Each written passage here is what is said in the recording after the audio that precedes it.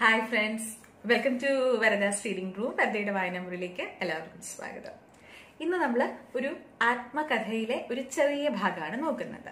അപ്പൊ ആത്മകഥ എന്ന് പറയുമ്പോൾ മുമ്പ് ഒരിക്കലും ഒരു ആത്മകഥയിലെ ഒരു ഭാഗം വായിച്ചിരുന്നത് കഥകളിയുമായിട്ട് ബന്ധപ്പെട്ടിട്ട് മഞ്ജുതരം എന്നുള്ള ആത്മകഥയാണ്. അത് കലാമണ്ഡലം ഹൈദരാലിയുടെ ആത്മകഥയായിരുന്നു നമ്മൾ വായിച്ചിരുന്നത്.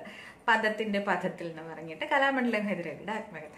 അപ്പൊ കഥകളിയോടുള്ള ഒരു താല്പര്യം കൊണ്ടാവാം. പിന്നെയും നമ്മൾ അടുത്തൊരു ആത്മകഥയിലെ ഒരു ഭാഗം വായിക്കുമ്പോഴും പ്രശസ്തനായ കഥകളി ആചാര്യൻ ശ്രീ കലാമണ്ഡലം കൃഷ്ണൻ നായരുടെ ആത്മകഥാപരമായിട്ടുള്ള ഒരു പുസ്തകത്തിലെ ഒരു ചെറിയൊരു ഭാഗമാണ് ഗുരുപ്രസാദം എന്ന് പറഞ്ഞിട്ടൊരു ഭാഗമാണ് നമ്മൾ ഇന്നത്തെ വായന. അതായത് അദ്ദേഹത്തിന്റെ പുസ്തകം എന്റെ ജീവിതം അരങ്ങിലും അണിയറയിലും എന്നുള്ള പുസ്തകമാണ്. അതായത് കലാമണ്ഡലം കൃഷ്ണൻ നായർ എന്ന് പറയുമ്പോൾ കഥകളിയെ തന്റെ ജീവിത ജീവിതചര്യയാക്കി. അതായത് കഥകളി തന്നെ ജീവിതമാക്കി എടുത്ത ഒരു വളരെ എന്താ പറയുക ലെജൻഡറി കഥ കലാകാരനാണ് ശ്രീ കലാമണ്ഡലം കൃഷ്ണൻ നായർ.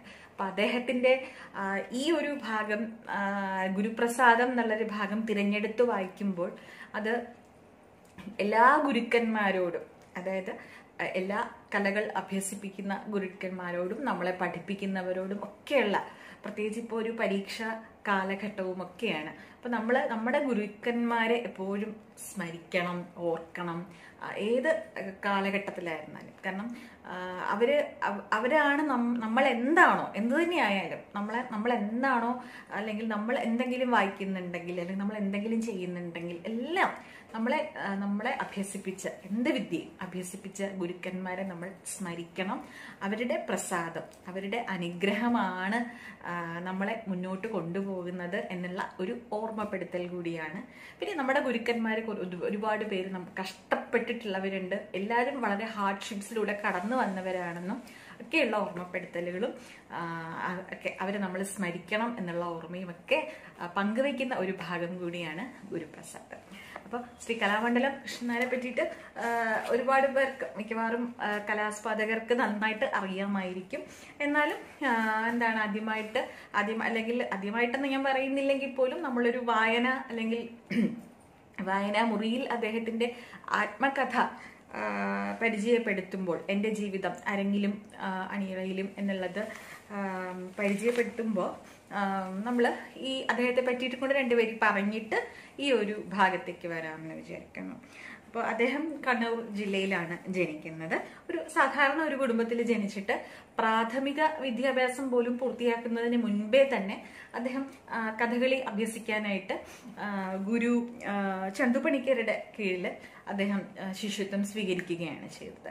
അപ്പോൾ ചന്ദ ഗുരു ചന്ദുപണിക്കരുടെ കീഴിൽ ശിഷ്യത്വം സ്വീകരിച്ചിട്ട് കുറച്ച് നാൾ കഴിയുമ്പോഴത്തേക്കും അദ്ദേഹത്തിന് കലാമണ്ഡലത്തിലേക്ക് ചേരാനുള്ള ക്ഷണം വരികയുണ്ടായി. അത് മറ്റാരിൽ നിന്നുമല്ല മഹാകവി വള്ളത്തോളിൽ നിന്നാണ് ക്ഷണം ഉണ്ടാവുന്നത്. അപ്പോൾ അദ്ദേഹം വിളിക്കുമ്പോൾ കലാമണ്ഡലത്തിലേക്ക് പോകാനുള്ള വലിയൊരു സൗഭാഗ്യം ലഭിക്കുകയുണ്ടായി. പക്ഷെ തന്നെ ആദ്യം കഥകളി അഭ്യസിപ്പിച്ചത് ആരാണ്? ഗുരു ചന്തുപണിക്കരാണ്. അപ്പൊ ആ ഒരു ഓർമ്മ അദ്ദേഹത്തിന് ഉണ്ട്. അതായത് തന്റെ ഗുരുവിൽ നിന്നും അനുഗ്രഹം വാങ്ങിയിട്ട് വേണം എവിടെ പോകാൻ കലാമണ്ഡലത്തിൽ പോകാൻ എന്നുള്ള ആ ഒരു എന്താണ് ശിഷ്യന്റെ എളിമയും ഗുരുഭക്തിയും ഒക്കെ എന്താണ് സൂചിപ്പിക്കുന്ന ഒരു ഭാഗമുണ്ട്. അപ്പൊ അദ്ദേഹം അങ്ങനെ ഗുരുവിനെ കാണാൻ പോയി. ആരെ? ഗുരു ചന്തുപണിക്കരെ കാണാൻ പോയി. അപ്പൊ അവിടെ പോയപ്പോഴുണ്ടായ ഒരു അനുഭവം. അത് വളരെ ഹൃദയസ്പർശിയായിട്ടുള്ള ഒരു അനുഭവമാണ്. ആ ഒരു ഭാഗമാണ് നമ്മുടെ ഇന്നത്തെ വായന. പിന്നീട് ഇദ്ദേഹത്തിന്റെ എന്താണ് കലാമണ്ഡലം കൃഷ്ണൻ നായരുടെ മറ്റു കാര്യങ്ങൾ ജീവചരിത്ര ഈ കുറിപ്പുകൾ അതായത് അദ്ദേഹത്തിന്റെ ഈ ഒരു ആത്മകഥ എടുത്ത് വായിക്കാൻ ശ്രമിക്കുക സമയമുള്ളപ്പോൾ അദ്ദേഹം എത്രത്തോളം ഡെഡിക്കേറ്റഡ് ആയിട്ടാണ് കഥകളിയെ സമീപിച്ചിരുന്നതെന്നും എത്രത്തോളം ഡെഡിക്കേറ്റഡ് ആയിട്ടുള്ള ആർട്ടിസ്റ്റ് ആയിരുന്നു എന്നൊക്കെ നമുക്കതിൽ നിന്ന് പുസ്തകത്തിൽ നമുക്ക് മനസ്സിലാവും. കാരണം ഇതിൽ തന്നെ എന്താണ് ഈ കണ്ണ് സാധകം എന്ന് പറഞ്ഞൊരു സംഭവമുണ്ട്. കണ്ണ് കണ്ടിട്ടുള്ള കണ്ണ് വെച്ചിട്ടുള്ള സാധകം. അപ്പൊ അത് ആ ഒരു വിദ്യ വശത്താക്കാൻ പറ്റുന്നില്ലെങ്കിൽ പിന്നെ എനിക്ക് ഇനി കണ്ണ് തന്നെ വേണ്ട എന്ന് അദ്ദേഹം എന്താണ് ഈ കണ്ണ് രോഗ വിദഗ്ധനോട് പറഞ്ഞായിരുന്നു കാരണം കണ്ണ് സാധകം നിരന്തരമായിട്ട് ചെയ്തപ്പോഴത്തേക്കും അദ്ദേഹത്തിന് കണ്ണ് പ്രശ്നം ഉണ്ടായി അപ്പൊ ഡോക്ടർ ഉപദേശിച്ചു നിർത്തണം. ഈ കണ്ണ് സാധകം നിർത്തിയില്ലെങ്കിൽ കണ്ണ് കനി കണ്ണിനി ഉണ്ടാവില്ല എന്ന് പറഞ്ഞു. അപ്പോഴാണ് അദ്ദേഹം പറയുണ്ടായി അങ്ങനെ കണ്ണ് സാധനം വശത്താക്കാൻ പറ്റില്ലെങ്കിൽ പിന്നെ എനിക്ക് കണ്ണ് വേണ്ട. അപ്പം അത്രയേറെ ഡെഡിക്കേറ്റഡ് ആയിട്ടുള്ള ഒരു ആർട്ടിസ്റ്റാണ് കഥകളി കലാകാരനാണ് ശ്രീ കലാമണ്ഡലം കൃഷ്ണൻ നായർ അപ്പൊ അദ്ദേഹത്തിന്റെ അതുപോലുള്ളൊരു കലാകാരന്റെ എന്താണ് ഗുരു ഭക്തി എത്രത്തോളം ഉണ്ടെന്ന് നമുക്ക് മനസ്സിലാക്കാം. അതാണ് ഗുരുപ്രസാദം എന്നുള്ള ഈ ഭാഗം. അപ്പൊ ഞാൻ ഇതിന് ശേഷം വലിയ ആസ്വാദനത്തിലേക്ക് പോവുകയില്ല. അതുകൊണ്ടാണ് തുടക്കത്തിൽ ഒരു അല്പം ഇൻട്രൊഡക്ഷൻ കൂടിപ്പോയത് ക്ഷമിക്കുക. അപ്പൊ ഗുരുപ്രസാദം. വീട്ടിൽ വന്ന് ഉദ്ദേശം രണ്ട് മാസം കഴിഞ്ഞപ്പോൾ വാരണക്കോട്ടേക്ക് കോട്ടയ്ക്ക് മഹാകവി വള്ളത്തോളിനെ എഴുത്തു വന്നു.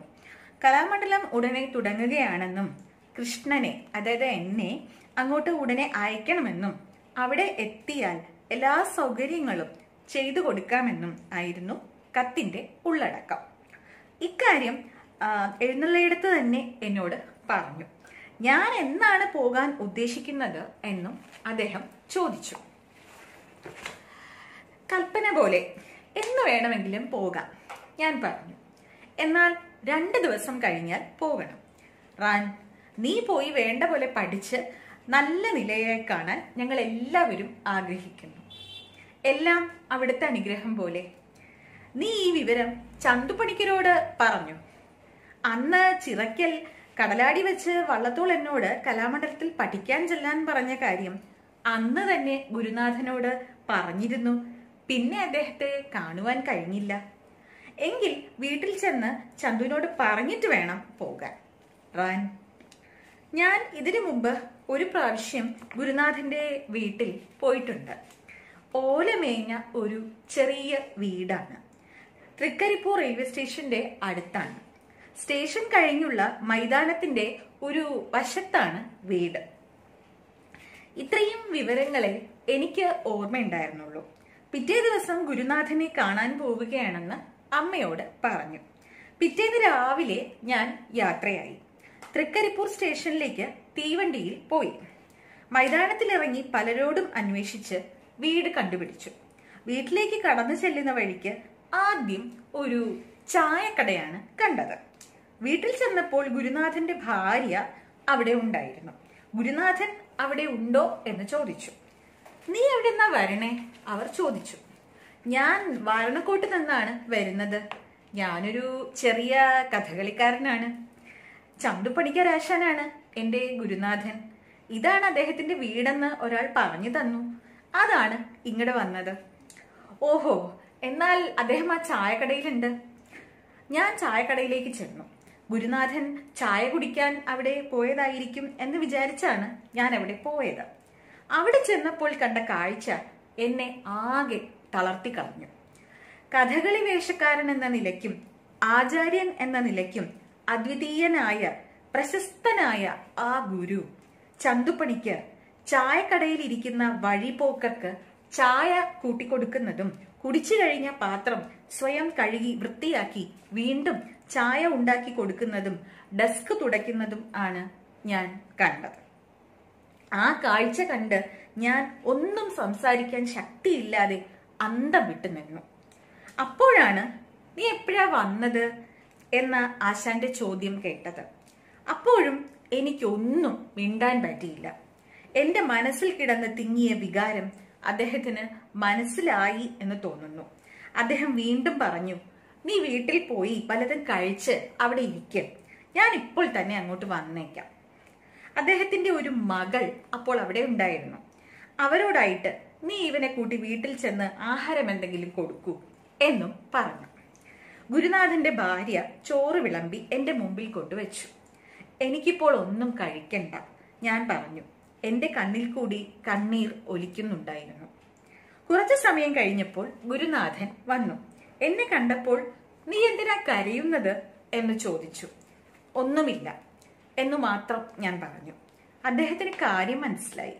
ഒരു തത്വജ്ഞാനിയുടെ മട്ടിൽ അദ്ദേഹം എന്നോട് പറഞ്ഞു മനുഷ്യനായി കർമ്മഭൂമിയിൽ ജനിച്ചാൽ കർമ്മം ചെയ്യണം. ഇന്ന് ഞാൻ ചെയ്യുന്നത് ഒരു കർമ്മമാണ്. ഇത് വിധിയാണ്. വിധിയുടെ കൽപ്പന മാറ്റാൻ ആരാലും സാധ്യമല്ല. വാരണക്കോട്ട് നിന്ന് വന്നതിന് ശേഷം മറ്റ് ജീവിതമാർഗമൊന്നും കണ്ടില്ല. ഇങ്ങനെ ഒരു ഉപായമാണ് തോന്നിയത്. അത് വിധി കൽപ്പിതമല്ലേ? പന്ത്രണ്ട് കൊല്ലക്കാലം താഴെക്കാട്ട് മനയിൽ ഗുരുനാഥനായ ഈശ്വരമേനോന്റെ കീഴിൽ ഞാൻ അഭ്യാസം നടത്തി. അദ്ദേഹം സന്തുഷ്ടനായി എന്നെ അനുഗ്രഹിച്ചാണ് പറഞ്ഞയച്ചത്. ഈ നാട്ടിലാണെങ്കിൽ കഥകളി ഇല്ല കഥകളി അല്ലാതെ മറ്റൊന്നും ഞാൻ പഠിച്ചിട്ടുമില്ല. അപ്പോൾ ജീവിക്കാൻ എന്തെങ്കിലും വേണ്ടേ? തളിപ്പറമ്പിലും വാരണക്കോട്ടും ഞാൻ കഥകളി പഠിപ്പിച്ചു. കുറേ ശിഷ്യന്മാരും ഉണ്ടായി. അവരുടെയും ഗതി മിക്കവാറും ഇത് തന്നെയാണ്. വടക്കേ മലബാറിൽ കഥകളി കൊണ്ട് ജീവി കഥകളി കൊണ്ട് മാത്രം ജീവിക്കുവാൻ പ്രയാസമാണ്. അതാണ് ഇപ്പോൾ ഈ ചായക്കട തുടങ്ങിയിരിക്കുന്നത്. ഇങ്ങനെ കുറേ അധികം നേരം അധികം നേരം അദ്ദേഹം സംസാരിച്ചു. സംസാരം എല്ലാം കഴിഞ്ഞപ്പോഴേക്കും ഏതാണ്ട് മൂന്ന് മണിയായി. അപ്പോഴാണ് ഞാൻ വന്ന കാര്യം ഗുരുനാഥനോട് പറഞ്ഞത്. കലാമണ്ഡലത്തിലേക്ക് മഹാകവി വിളിച്ച കാര്യം അന്ന് ചിറക്കൽ വെച്ച് ഞാൻ പറഞ്ഞല്ലോ. ഇപ്പോൾ അവിടെ നിന്ന് എഴുത്തു വന്നിട്ടുണ്ട്. രണ്ടു ദിവസം കഴിഞ്ഞു പോകാനാണ് എഴുന്നള്ളത്തിന്റെ കൽപ്പന. ഗുരുനാഥന്റെ അനുവാദവും ആശീർവാദവും വാങ്ങിക്കാനാണ് ഞാൻ വന്നത്. കുറച്ചു നേരത്തേക്ക് അദ്ദേഹം മറുപടി ഒന്നും പറഞ്ഞില്ല. തെല്ല് നേരം കഴിഞ്ഞ്. ആ പോയി നീയെങ്കിലും നന്നായി വാ. എനിക്ക് വളരെ ശിഷ്യന്മാരുണ്ടെങ്കിലും നീയാണ് എന്റെ പ്രിയപ്പെട്ട ശിഷ്യൻ. അന്ന് നിന്റെ കാൽ പൊട്ടിയപ്പോൾ ഞാൻ പറഞ്ഞത് ഓർക്കുന്നുണ്ടോ? ഇത്രയും കേട്ടപ്പോൾ ഞാൻ പൊട്ടിക്കരഞ്ഞുപോയി അദ്ദേഹം എന്നെ അടുത്ത് പിടിച്ചു നിർത്തി കണ്ണു തുടച്ചിട്ട് കരയണ്ട ഞാൻ അന്ന് പറഞ്ഞതുപോലെ മോരിലെ വെണ്ണ കണക്ക് നീ എന്നും കഥകളിയുടെ മുകളിൽ തന്നെ കിടക്കും. നീ പ്രശസ്തനായി വളരെ കാലം ജീവിച്ചിരിക്കട്ടെ. ഞാൻ അദ്ദേഹത്തിന്റെ പാദങ്ങളിൽ സാഷ്ടാംഗം നമസ്കരിച്ചു. ഹൃദയം നിറഞ്ഞ സ്നേഹത്തോടും സന്തോഷത്തോടും കൂടി എന്നെ അനുഗ്രഹിച്ച ശേഷം ഗുരുനാഥൻ പറഞ്ഞു നീ എന്റെ ഇപ്പോഴത്തെ അവസ്ഥ കണ്ട് വിഷമിക്കണ്ട. കാനായിൽ വേങ്ങയിൽ നായനായരുടെ വക ഒരു അഭ്യാസ കളരി തുടങ്ങുന്നുണ്ട്. അത് നടത്തുന്നതിന് എന്നെയാണ് നിശ്ചയിച്ചിരിക്കുന്നത് എന്ന് കർണാകർണികയായി ഞാൻ അറിഞ്ഞു. അത് അടുത്ത് തന്നെ തുടങ്ങും. അപ്പോൾ എന്റെ ഇപ്പോഴത്തെ വിഷമങ്ങളെല്ലാം തീരും. നീ സന്തോഷത്തോടെ പൊയ്ക്കൊള്ളൂ. ഗുരുനാഥനോടും ഭാര്യയോടും യാത്ര പറഞ്ഞ് ഞാൻ ഇറങ്ങി. അദ്ദേഹം പഠിക്കൽ വരെ എന്റെ കൂടെ വന്നു. ഞാൻ മറയുന്നത് വരെ അദ്ദേഹം നിർനിമേഷനായി അവിടെ നോക്കി നിന്നു. ആ രംഗം ഇന്നും ഞാൻ ഓർമ്മിക്കുന്നു. ഇതാണ് ഗുരുപ്രസാദം. അപ്പോൾ ശ്രീ കലാമണ്ഡലം കൃഷ്ണൻ നായരുടെ ആത്മകഥ എന്റെ ജീവിതം അല്ലെങ്കിലും അണിയറയിലും എന്ന കൃതിയിൽ നിന്നും എടുത്തിട്ടുള്ള വളരെ നല്ലൊരു ഭാഗമാണ് ഗുരുപ്രസാദം. അപ്പോൾ ഞാൻ പറഞ്ഞല്ലോ ഇതിൽ ഈ ഗുരു അദ്ദേഹത്തിന്റെ ഗുരു എന്നുള്ളതാണ് ഏറ്റവും ഗുരുവിനെ കാണാനുള്ള ഗുരു എന്നുള്ള ഒരു സങ്കല്പം സങ്കല്പമല്ല. അതൊരു എന്താണ് അദ്ദേഹം ഗുരുവിനെ കണ്ട് തനിക്ക് വന്നു ചേർന്ന സൗഭാഗ്യം. അതായത് കലാമണ്ഡലത്തിൽ പഠിക്കാനായിട്ട് ഉള്ള ഒരു എഴുത്ത് വന്നു. വള്ളത്തോളിന്റെ മഹാകവി വള്ളത്തോളിന്റെ എഴുത്ത് വന്നു. അപ്പോൾ തന്റെ ഗുരുവിനെ കണ്ട് ഗുരുനാഥന്റെ അനുവാദവും ആശീർവാദവും വാങ്ങിക്കുന്നതിന് വേണ്ടിയിട്ടാണ് വന്നത്. അപ്പോഴാണ് ഗുരുനാഥന്റെ ഈ അവസ്ഥ കാണുന്നത് അല്ലെ? ഇത്രയും വലിയ ആചാര്യനായിട്ടുള്ള അദ്വിതീയനായിട്ടുള്ള കഥകളി എന്താണ് കഥകളിയിൽ അദ്വിതീയനായിട്ടുള്ള ഇദ്ദേഹത്തിന്റെ ചതുപ്പണിക്കർ ആശാന്റെ ഈ ഒരു അവസ്ഥ കണ്ടപ്പോൾ വളരെ വളരെയധികം വിഷമം തോന്നി. പക്ഷെ ഗുരുനാഥൻ എന്താ ചെയ്തത്? ഗുരുനാഥൻ പറഞ്ഞു അതായത് കഥകളി കൊണ്ട് ജീവിക്കുക എന്നുള്ളത് അതുകൊണ്ടൊരു ജീവിത മാർഗം ഉണ്ടാക്കുക എന്നുള്ളത് വളരെ ബുദ്ധിമുട്ടാണ്. അതുകൊണ്ടാണ് ഇങ്ങനൊരു ചായക്കട തുടങ്ങേണ്ടി വന്നത് എന്ന് ഗുരു പറയുന്നുണ്ട്. ബുദ്ധിമുട്ട് പറയുന്നുണ്ടെങ്കിലും തന്റെ ശിഷ്യനിൽ വലിയ ഒരു കലാകാരനെ കാണുന്നുണ്ട് ദർശിക്കുന്നുണ്ട് ഗുരു. അതുകൊണ്ട് തന്നെ ഗുരു അദ്ദേഹത്തെ അനുഗ്രഹിക്കുന്നു. മോരിലെ വെണ്ണ കണക്കെ നീ കഥകളിയിൽ ഇങ്ങനെ പൊങ്ങിക്കിടക്കും. ഏറ്റവും പ്രശസ്തനായ കഥകളി ആർട്ടിസ്റ്റായിട്ട് തീരും എന്നുള്ള അനുഗ്രഹം കൊടുക്കുന്നു. അപ്പോൾ അത് എന്താണ് അത് സത്യമായി തീരുകയും ചെയ്തു അല്ലേ? ഇപ്പം കലാമണ്ഡലം കൃഷ്ണൻ നായർ അദ്ദേഹത്തിന്റെ ഒരു പ്രത്യേകത എന്ന് പറഞ്ഞാൽ ഈ അഞ്ച് അഞ്ച് തരത്തിലുള്ള നമ്മുടെ വേഷങ്ങളുണ്ടല്ലോ. അഞ്ച് വേഷങ്ങളിലും എല്ലാം വളരെ നന്നായി ചെയ്യാൻ പറ്റുന്ന ഒരു കലാകാരനായിരുന്നു അദ്ദേഹം.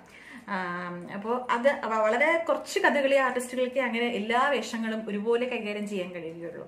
അപ്പോൾ ഇതുപോലുള്ള നല്ല ഗുരുക്കളുടെ അനുഗ്രഹം കിട്ടിയിട്ടാണ് അദ്ദേഹം കലാമണ്ഡലത്തിലേക്ക് വരുന്നത്. അപ്പോൾ അങ്ങനെ അത്രയധികം എളിമയും ഗുരുഭക്തിയും ഒക്കെയുള്ള ഒരു കലാകാരനായതുകൊണ്ടാവാം. അത്രയും അധികം നല്ലൊരു എന്താണ് ആർട്ടിസ്റ്റിനെ നമുക്ക് മലയാള സാഹിത്യം അതായത് നമ്മുടെ കഥകളി എന്നുള്ള ഒരു കലാരൂപം ത്തിന് ഒരു എന്താണ് ലോകോത്തര നിലവാരത്തിലേക്ക് കൊണ്ടുപോയി. അല്ലെങ്കിൽ ലോകം തന്നെ കഥകളി എന്നുള്ളത് കേരളം എന്ന് പറയുമ്പോൾ കഥകളിയെ തന്നെ ഉറ്റുനോക്കുന്ന ഒരു തരത്തിൽ ഈ ഒരു കലാരൂപത്തെ വിക വികസിപ്പിച്ചെടുക്കുന്നതിന് കലാമണ്ഡലം കൃഷ്ണൻ നായർ പോലുള്ള കഥകളി ആർട്ടിസ്റ്റുകൾക്ക് ഒരുപാട് പങ്കുണ്ട്. അപ്പോൾ അതുകൊണ്ട് തന്നെ അദ്ദേഹത്തിന്റെ ഈ ആത്മകഥയിലെ ഈ ഭാഗമൊക്കെ നമ്മൾ അറിഞ്ഞിരിക്കണം വായിച്ചിരിക്കണം. അപ്പോൾ സമയം കിട്ടുമ്പോൾ അതൊക്കെ ഒന്ന് വായിക്കുക.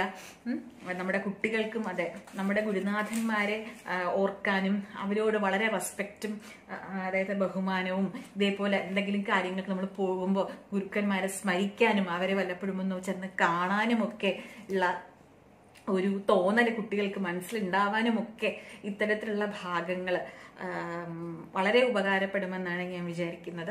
അപ്പോൾ കേൾക്കുന്നവർ നമ്മുടെ കുട്ടികളുമായിട്ടൊക്കെ ഒന്ന് ഷെയർ ചെയ്യുക. കുട്ടികളെ കൊണ്ടും ഇതൊക്കെ ഒന്ന് വായിപ്പിക്കാനും കേൾപ്പിക്കാനും ഒക്കെ ഒന്ന് ശ്രമിക്കുക. അത് മാത്രമാണ് ഇതിനെക്കുറിച്ച് പറയാനുള്ളത്. പിന്നെ ഇവിടെ മറ്റൊരു കാര്യം കൂടെ ഞാൻ പറഞ്ഞോട്ടെ. എന്താണ് അതായത് ചന്തുപണിക്കർ കുറച്ച് ബുദ്ധിമുട്ടുകൾ ചന്തുപണിക്കർ രാശം കുറച്ച് ബുദ്ധിമുട്ടുകളൊക്കെ പറയുന്നുണ്ടെങ്കിലും പിൽക്കാലത്ത് അദ്ദേഹം വളരെ പ്രശസ്തനായിട്ടുള്ള കഥകളി ആചാര്യനായിട്ട് തീർന്നു. അദ്ദേഹം മറ്റ് എന്താണ് സംസ്ഥാനങ്ങളിലൊക്കെ പോയിട്ട് വലിയ കഥകളി അഭ്യസിപ്പിക്കുന്ന വലിയ ആശാനൊക്കെയായി തീരുകയുണ്ടായി. അപ്പൊ അദ്ദേഹത്തിന്റെ കഷ്ടപ്പാടുകളൊക്കെ പിന്നീട് പിൽക്കാലത്ത് മാറുകയുണ്ടായി. പക്ഷെ അദ്ദേഹത്തിന്റെ ഈ ഒരു സമയത്ത് അതായത് കലാമണ്ഡലം കൃഷ്ണൻ നായർ ഈ കലാമണ്ഡലത്തിലേക്ക് ചേരാൻ പോകുന്ന വഴിക്ക് അദ്ദേഹത്തെ കാണുന്ന അതായത് അതിന് മുന്നേ പെർമിഷൻ വാങ്ങാൻ വരുന്ന സമയത്ത് അനുഗ്രഹം വാങ്ങാൻ വരുന്ന സമയത്ത് അദ്ദേഹത്തിന്റെ അവസ്ഥ ഇതായിരുന്നു എന്നുള്ളതാണ്. പിൽക്കാലത്ത് അദ്ദേഹം വളരെ അദ്ദേഹത്തിന്റെ ഈ വളരെ വളരെ ദ്വിതീയനായിട്ടുള്ള ഒരു കലാകാരൻ തന്നെയായിരുന്നു. അദ്ദേഹം അംഗീകരിക്കപ്പെടുകയും ചെയ്തിട്ടുണ്ട്. അപ്പോൾ അതുകൂടി നമ്മൾ ഓർക്കണം. അപ്പോൾ ഇതൊക്കെയാണ് നമ്മുടെ ഇന്നത്തെ വീഡിയോ. അപ്പോൾ മറ്റൊരു കഥയോ കവിതയോ ലേഖനമോ ഒക്കെ ആയിട്ട് മറ്റൊരു വീഡിയോയിൽ കാണാം. അതുവരെ bye from Varada's reading room